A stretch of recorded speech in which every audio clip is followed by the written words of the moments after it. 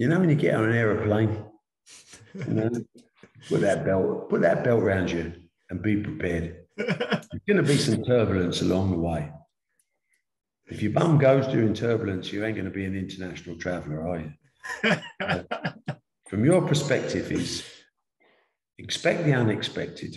Be prepared to deal with the changing environment. Be very tough with yourself.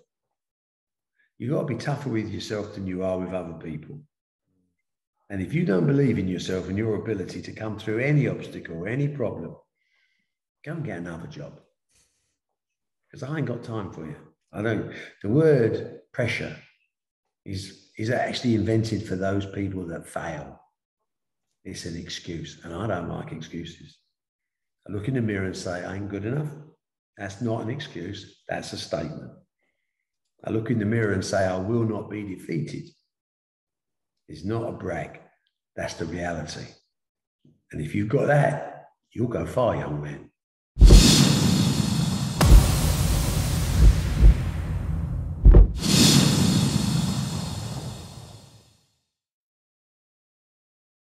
I am joined by Barry Hearn, OBE, founder of Matchroom Sport, to discuss his new book, My Life.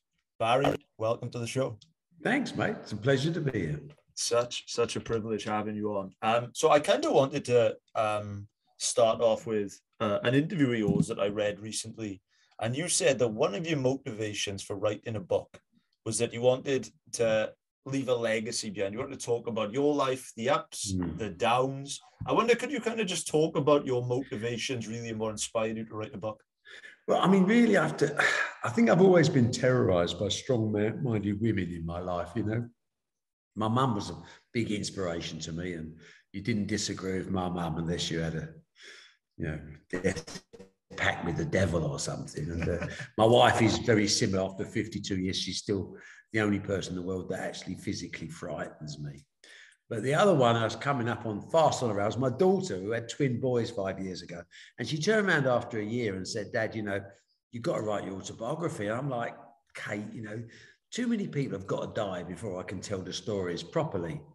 And she said, Well, no, I'm not accepting that. She said, because I want my boys to read, you know, they want I want them to understand where we come from as a family, what your values were, how we how we became successful, you know, what's important to us.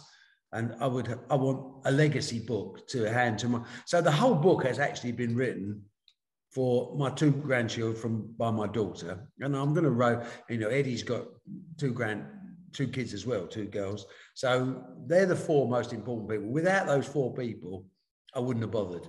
And it took me three and a half years to do it because it is the story of my life. And although as a salesman, a promoter, I spend a lot of time being full of bullshit and things like that, goes with the turf. The book is as it is, you know, it's real. So, and, and I'm independent enough to say, and if people don't like it, um, I don't really care. I'm happy with this, and I think it's done the job it was intended to, and hopefully people will find it entertaining and in some cases illuminating. Right, right. And you raise a very good point there because in the promotional business, some people can say, you know, that there's a lot of bullshit out there. But in your book, you talk the highs, you talk the lows, you share a lot of detail, not just of the successes, but of the struggles. So I wonder, were you worried at all putting a lot of personal details in there? Not really. I think you get to a certain age. I think you get to a certain age where you become reflective and if you've achieved a certain amount of success, you, you sort of become truthful, if that makes sense. You're independent. So you don't really have to, it's not going to affect my life. And if someone doesn't like it, then they're not, I take the view they're not worthy of my attention. If someone doesn't like the truth about themselves or anything else, then they don't feature. I love it. I love it. Do you think that you were born to be an entrepreneur? It's difficult to say. It's difficult to say yes or no because there was no entrepreneurial flair in my family. You know, I mean, I can look at my son Edward now and think to myself, I was worried about him being a rich kid, a spoiled kid, silver spoon, and all that. But actually, he's turned out to be just a, another version of me. The DNA is working and the apple doesn't fall far from the tree. I understand that. I'm very proud of what he's achieved on his own merit, but he also had the benefit of a great start. I didn't have that benefit, but there was no entrepreneurial activity whatsoever. The woman that influenced me was my mum. Although she was a char lady, she cleaned houses, she seemed to always want better for her kids. I suppose most mums and dads do, don't they? You know, you're a bit young for that, but that's one of the reasons why we're put on this earth to start with. And my mother was a bit of a working class snob. She she always wanted to better herself or certainly her children. I mean, for me, she put me into the Amateur Dramatic Society at school when I was 13. And I think she put me into elocution lessons when I was 11. And she then put me into the Verse Appreciation Society to travel around schools talking about Robert Graves and great poets of this is how I, I learned how to fight a little bit at school because everyone took the mick out of me.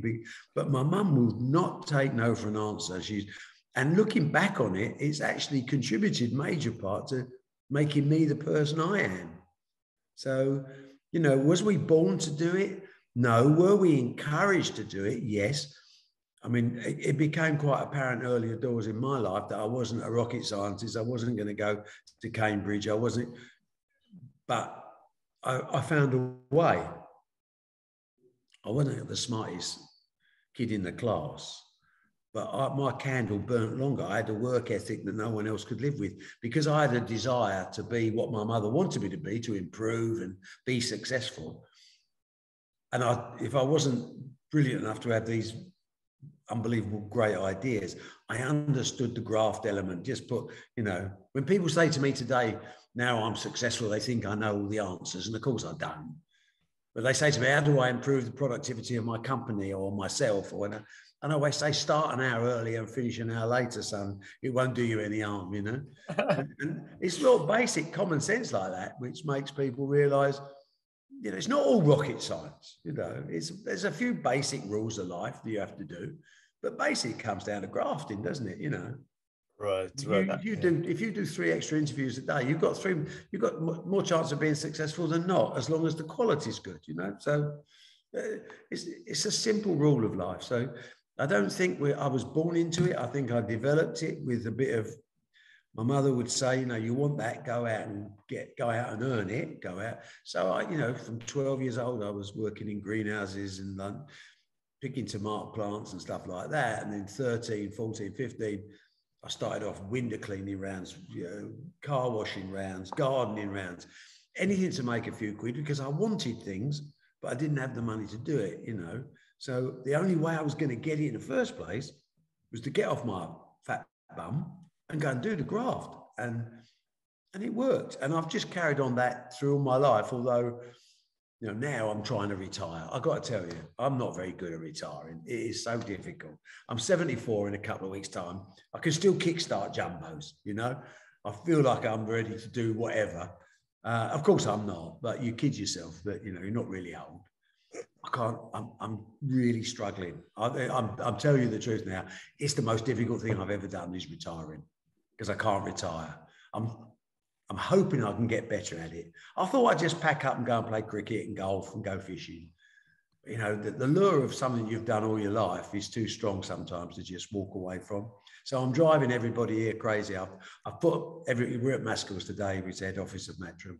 I put everybody in charge of various businesses and I'm still interfering, which is a bit annoying for them, I think.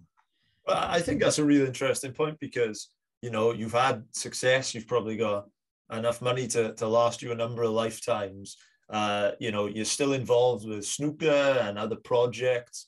Why do you think it is that you you keep going? What is kind of that? do you know? I think I've tried to analyse this myself. It's very difficult. I mean, I grew up wanting to be heavyweight champion of the world from about the age of seven, I think. And I, I don't know why. I used to go to the cinema on Saturday morning with the, the other kids, and they always had Pathé News on or something there. And generally, there was something about Rocky Marciano or Archie Moore or someone like that, you know. And I just loved the idea. I like one against one. I mean, I, I team games as well, but I love one against one. because it's I've got no excuses. I win or I lose, and I love winning or losing. I don't want to lose, but I accept losing as part of the process of learning how to win. If that makes sense. So you know, and then I found out that despite this enormous passion for sport, I wasn't particularly good. It's a bit of a career setback, isn't it? You know, I was, you know, annoyingly, I was okay in everything. I, I was gold medal in enthusiasm, but not even the bronze in ability.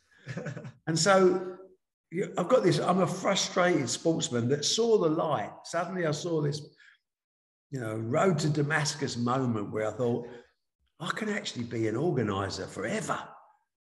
Or I could be a sportsman for a limited period of my life. And I thought, I think I'd rather go down the, the ever route.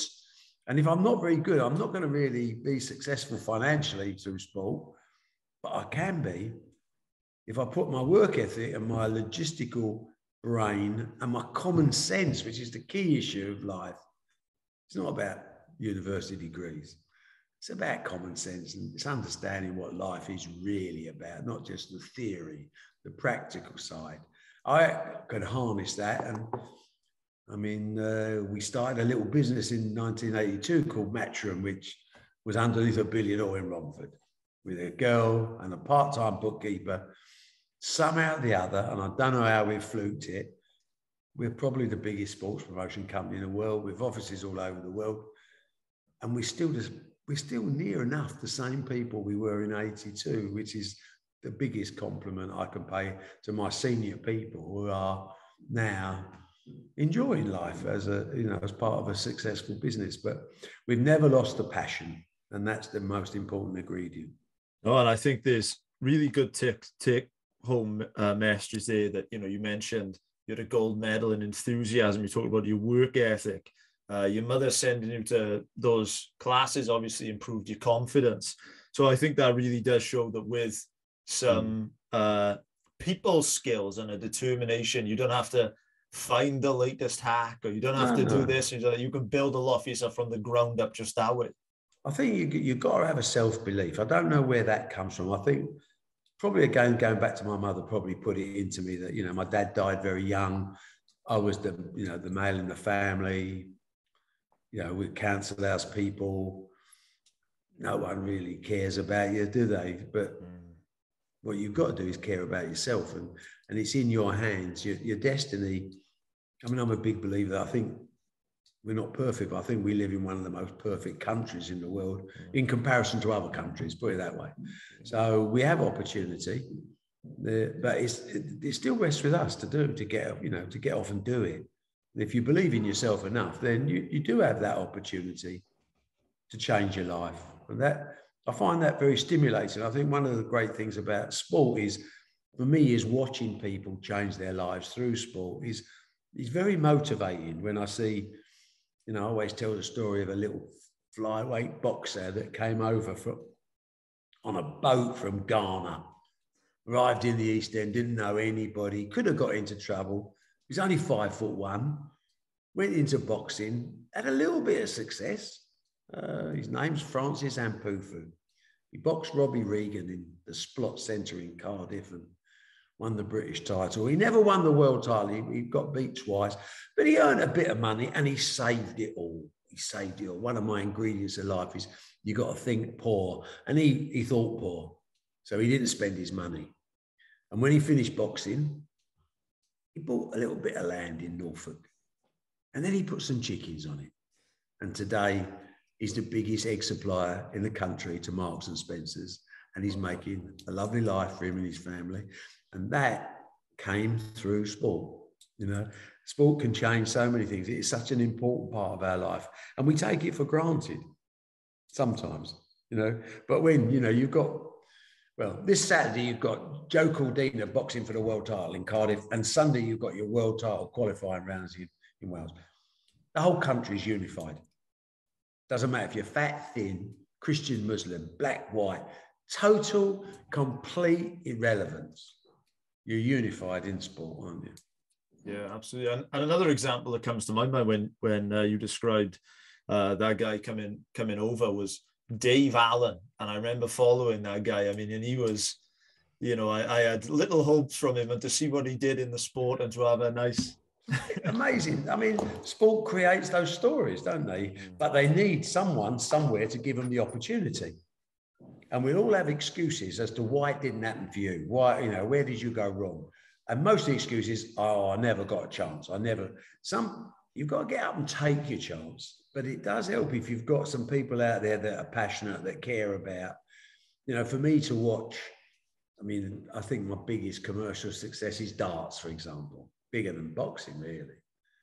And I see these blokes changing their lives through, you know, I look at Gerwyn Price, for example, you know, rugby union, rugby league, reached a certain level, but darts has changed, fundamentally changed his life, and he can create legacy, opportunity for his children, his family, his friends, whatever he's in. And he brings pride to the community, which inspires others. It's a win win situation if you do it properly. Yeah, sure. Um, we kind of talked about how you built this, uh, you know, this, as you said in, in your own words, the kind of one of the biggest promotional companies in the world for sport. Mm. Um, I would kind of love to ask you because in the book you talk about how, you know, people hear that and assume, wow, you know, this was this huge, huge success, but it wasn't always that way. No, so course. I wonder if you could kind of talk about perhaps some of the lowest points that you had and kind of how you overcame them. Well, I think like everything else, the biggest weakness you can have in your life is complacency. Whether you're complacent with wives, girlfriends, friends, whatever, partners, once you get complacent, it's never quite the same. You know, you have to sort of be on the, a little bit on the edge. You have to appreciate what you've got. Business works the same way. You know, you work mm. hard all your life. You get to a certain level, and sometimes complacency kicks in. And I think I was a bit like that. 1982, I made a lot of money and I was going to retire. I was 34. I was going to go and play cricket, go golf. After about six weeks, I was climbing up walls, you know. So then the recession started to kick in 85, 86, 87, 88. And my business suddenly, all the money I'd made in 82, I'd lost it and millions more. owed the banks a load of money. I'd actually invested in my passion being sport. I'd, I'd seen the sign that sports television was going to eventually come into its own. And it hadn't at that stage. We just had BBC and ITV, Grandstand, World of Sport, just a few hours sport a week. And I thought, well, they're going to need events. So I started investing in events, doing more and more shows, and every one of them lost money. I was about two years ahead of myself, but it worked out all right in the end because when they did come in and started spending, I was there ready to play. Right. But during those periods, it was very tough, you know. I mean, I remember I owned a snooker hall in Romford and we used to empty the fruit machines twice a week to pay the wages and things like that. And, you know, everything went wrong. You know, whatever you did, whatever you touched, it went wrong and you have to keep it to yourself because you, you, you, don't want to share those sort of miseries, those problems with the nearest and dearest because your job as a husband and a father is to protect those people from that, the real world. I don't share my problems, I solve my problems. But it took longer than I thought. And it was a very difficult couple of years. It actually culminated in, in one story that I think sums up what makes us tick in our family was Christmas, I think it was about 1988 or 89. I had a snooker event starting in January that needed a sponsor. My world is crashing down around me. I feel like I'm a boxer coming out for the 11th round, and I'm wondering whether I'm so far behind on points, I may as well just jack in. But I'm not that type of person that jacks in. I can't help it. It's just the way I'm built. And I went to see Trusthouse Forte, which were a hotel company. They were based in Slough. They were my last appointment to try and get a sponsor for this event in January, which is, and I'm literally, my heart, actually, to be fair, I was very close. My heart wasn't in it, you know. And I arrived at Slough Station at four o'clock in the afternoon on Christmas Eve. And it started to snow as I walked to their offices. It was something like, it looked like a Dickens novel. And I went up there, I saw the managing director, whose name was, funny enough, Alan Hearn. He, he wasn't related. I wish he had been. And I made the worst pitch ever because I was just gone, you know, I was punched out, beat out, you know, get the referee to stop the fight, it's all over. And at the end of it, he looked at me and he said, You must really need this. He said, It's Christmas Eve. It's half past four. I went, I do. To be honest with you, Mr. Hearn, I do need it. He went, Well, I've got no money. And I thought, Well, that is it. The last kick in the nuts. Happy Christmas. I can always get a job because I'm a qualified chartered accountant. I'm never going to starve. It wasn't that. But my dreams were not going to happen. You know, that was the sadness. And I thought, well, we take it with some class. So I just said, I understand that, Mr. Hearn. Thank you very much for your time. And I wish you and your family a happy Christmas and a great new year. And I turned around to walk out the building and he said, but I do have hotel rooms. And I went, what does that mean? And he went, well, I've got no money. I said, I, I heard that bit. He said, but I got hotel rooms and I'll give you £300,000 of hotel rooms instead of money to sponsor that event. And I said, now bearing in mind in those days that Trusthouse Forte had Sandy Lane in Barbados, Plaza Athénée in New York, and in Paris, uh, the Waldorf in so London. They had the best hotels. From when I left his office to when I got on my train at Slough, I had sold those £300,000 at a 40% discount to friends in the travel business that knew me, that knew if I say something and I shake their hand, it's 100% going to happen. And that £180,000 net saved my company and saved me because it gave me the belief in myself again that has never left me since that day. And that's how you recover, my friend. I love it. And one of the things there that is obvious is that you're dealing with a lot of uncertainty. I mean, mm. you're in a period there where, you know, you mentioned you had a fallback plan, but you're not too sure what's going to kind of happen with the company. What do you think it was that kind of got you through that time period? What was it that got you through those hard times? I just think self blind self belief at some stage. I mean, you get to the certain stage where everyone tells you mad, but you just there's something in the back of your head that says, I'm not buying that. I'm not, I'm not, I'm not, I'm not, I'm not stopping, you know. Now it could be, it could be totally wrong. I appreciate there'll be other people to say, I had the same feeling and I went bankrupt for millions of millions of pounds. But this business wasn't built on greed. It wasn't built on some of those, well, I call people fur coat, no knicker merchants, you know, the ones that want to get rich quick. I didn't want to get rich quick. I wanted to build a sustainable business that was a credit to everyone, that lived up, that created a legacy, but also rewarded sports that I personally was passionate about.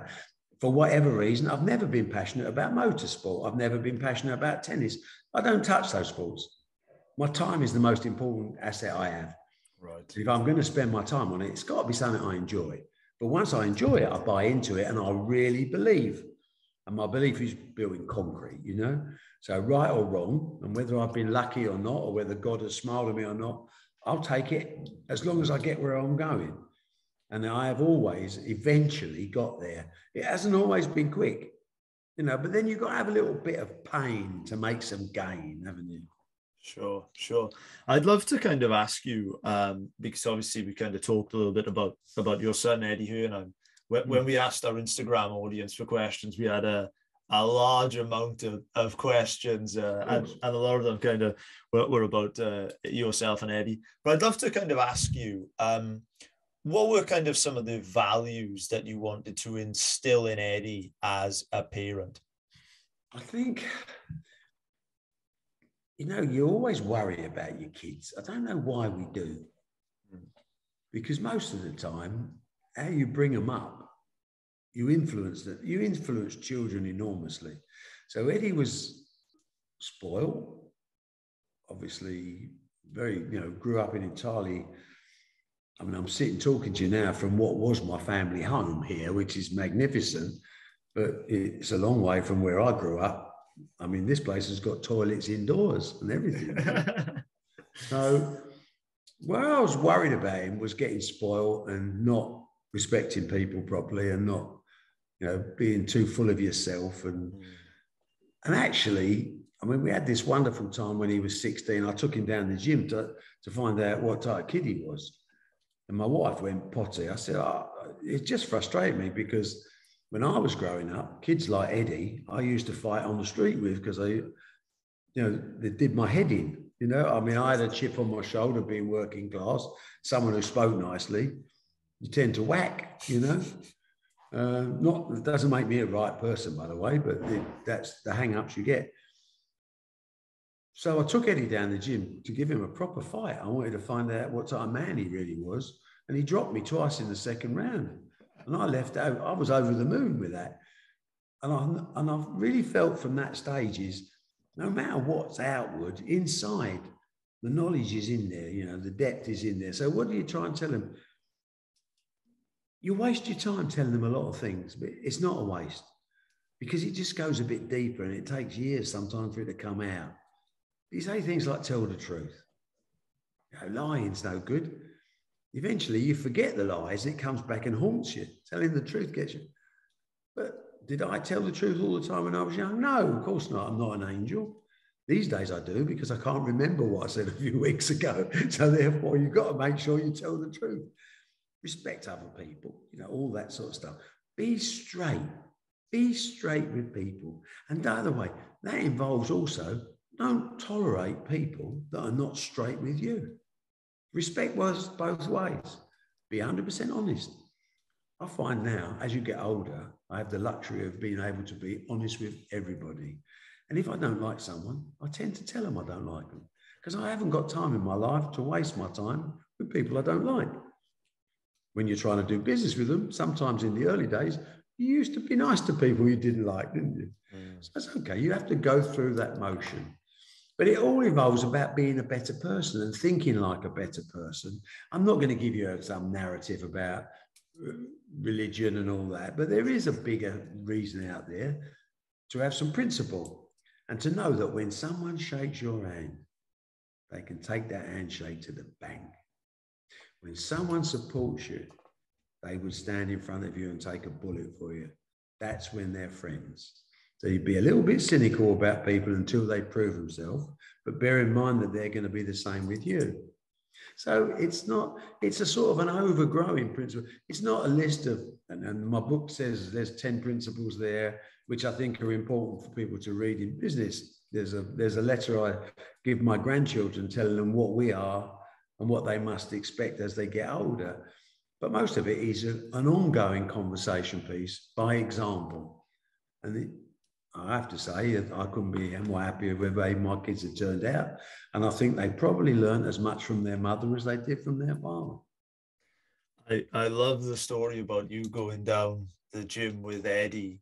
Proper fight. Proper fight. I hit him with a right hand. I mean, I, he always take, you know, Eddie's like, oh, yeah. But I'll tell you the truth, mate. He came out, he's 16, he's like three and zero in little gym fights, you know, but he was a big lump. No, he's six four. He's a big boy. When you're 16, like you're not frightened of anything. He charged. I can remember the look on his face. He charged at me on the belt. Two minute rounds. I'm I'm trying to get every advantage. I was 47 at the time. I was still sparring a little bit. I hit him with a right hand. That is, I mean, I wasn't a big puncher anyway, but he's gone up my arm like that little zing you get when you hit someone properly he didn't fall over. I thought I could have a problem here. he, done me like a kipper with body shots in the second round. I couldn't breathe. At the end of the second round, I went, that'll do, Ed. And he went, you said you'd do three rounds. I went, you're going to kill your father. He, he, still wanted to do the extra round. I wouldn't go near him. I went home. My wife said, if you've hurt my son, I'm going to kill you. And I said, I'll tell you something. I'm never putting boxing gloves on again in my life and I never have. this won't be discussed again. Who do you think would win, Eddie or Jake Paul? I think it's a, in all honesty, Jake Paul is fitter, fitter than Eddie for boxing. Eddie's very heavy-handed. Um, he's a lump, and he's in decent shape actually. Um, he's training quite a lot. I mean, we're all we're all competitive people. If Eddie hit him, I think he'd have him over. But I think if he didn't hit him early, Jake Paul would probably wear him down. So yeah, I mean, but I tell you what, I'll give them five million each for that fight tomorrow. that's going to sell. That's going to sell an awful lot of social hits on that. Yeah, I love it. I love it. Um, let me jump on to some of the kind of sports questions. Um, so obviously in your field, you've promoted, as we kind of talked about, the snooker, the darts, the boxing. Uh, we kind of talked about some of the traits that, you know, have helped you get to kind of the top of your field. But I wonder, in terms of kind of the athletes that you saw, were there kind of any common traits that you saw amongst them that led them get to the kind of top of their profession? I think it's yeah. It also works in business. You know, there is a there's a common trait of sacrifice, selfishness, you know, when you're in individual sport, you have, I mean, an individual businessman starts off. I mean, I was selfish for, well, I don't know how many years. My, my family probably think I still am now, but I was proper selfish, you know. I mean, my book says family first, business a close second. There was plenty of times when it was business first. Mm. And sometimes family not so close second, you know. You have to make, and, and, and you, you, you can always see with someone who is prepared to go that extra yard. Talk is cheap. Lots of people talk a great, great fight. But when they come into the trenches, they're not the same athlete, you know. I don't know a man that don't think he can fight. But you walk up those five steps up to the four cornered ring, it's a long way it's a, it's a big journey for some people, you know, and you, and you respect that. So there is that feeling of selfishness, I think, that prevails when you really want something so bad you can taste it every morning. I was like it in business. I think I still am a little bit. But sportsmen and women have to because they have to channel that into a short period of time. So that, you know, it's the ability, it's the ability to go to levels that other people don't go to. And that, that sums up what makes you special. A question that we got asked, kind of, I think that is a nice follow up to this one. It was from our uh, from our Instagram audience, and they wanted to know, um, in terms of, uh, you know, some of the all the events that you've ever made. A question which came up quite a few times was, what was the biggest event or business deal or certain matchup that never happened? Ah, oh, there's only one, isn't there? Benn Eubank three. I was so gutted. I mean, on, on a sporting level, that is my biggest disappointment because Benn Eubank one was was a great night for me because obviously established my relationship with Chris Eubank. We went on for 20 world title defenses.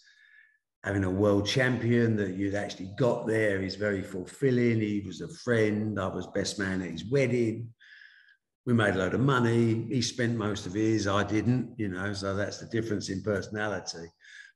But then Benn Eubank two had to happen because Nigel Benn's such a warrior and such a great, great fighter. You know, the animosity between them on Benn Eubank one was still there. It never really delivered in the same intensity, that fight, in my view. A lot of people thought Nigel won, including Nigel.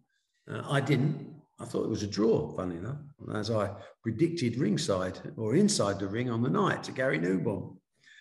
Uh, but I should have done Benn Eubank three, but because Nigel thought he'd won the fight and he was really pissed off with me, so he he went off with Don King and did his bits and pieces, and uh, Eubank stayed with me, and we missed it. That was the fight to launch British pay per view in this country. It would have been humongous. So that's from the sporting event one that got away from a business point of view, what am I doing?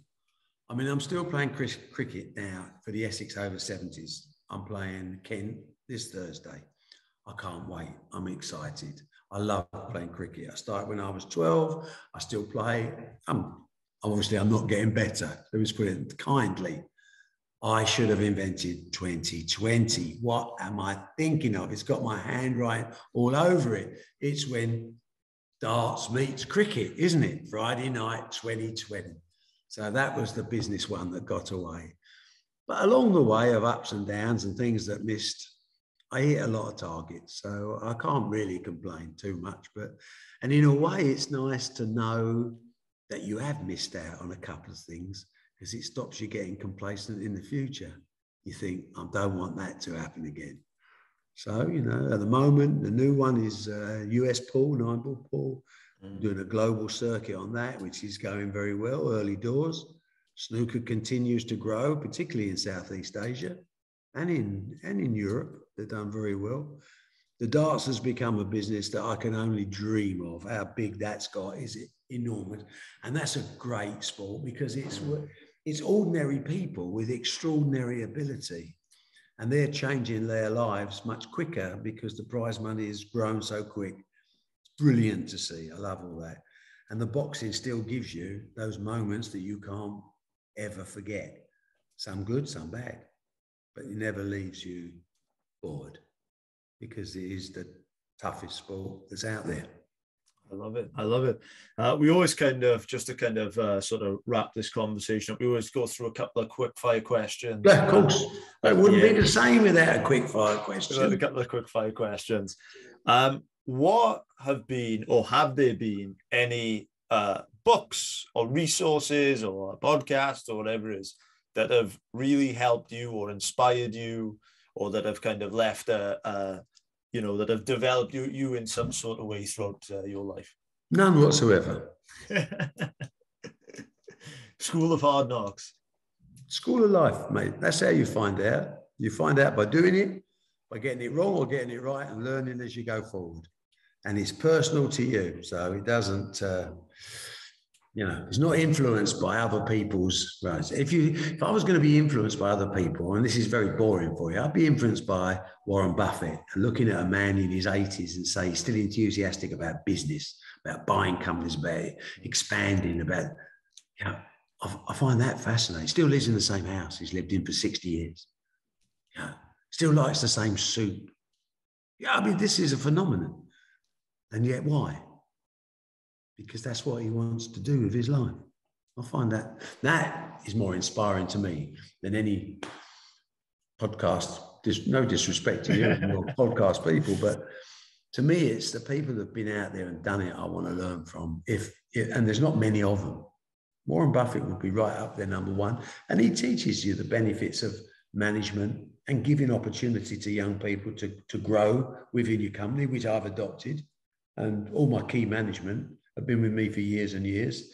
Some of them started when they was 15 years old. Some started when they were 20, and they're now major movers and shakers. And I couldn't have better people running parts of my business. Well, that brings me nicely up my next question, which was going to be who have been some of your heroes growing up? Well, sporting heroes. Anyone it could be anyone that's just kind of you really. I mean, you, you can't have a conversation about boxing without talking about Muhammad Ali, obviously, because he was something special.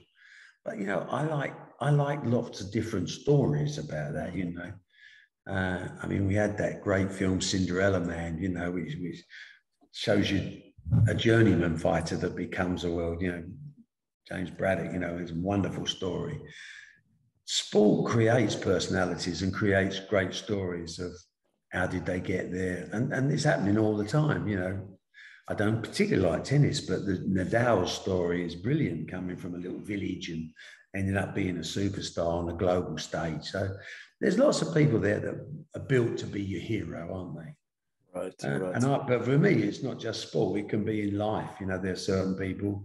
Some people will talk about Nelson Mandela and say that he's the most original you know, Martin Luther King, all these type of people have been inspirational.